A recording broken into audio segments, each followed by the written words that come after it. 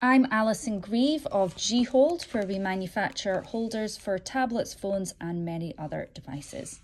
Today I'm going to take you through how to type the degree symbol on an iPad keyboard using the touchscreen keyboard.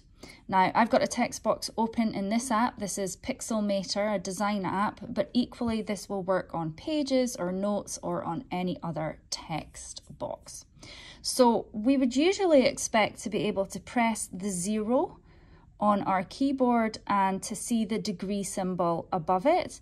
But in this case, it's the closing bracket symbol, which is not what we want. So we're going to have to go into our numeric keyboard, which is the one, two, three down there.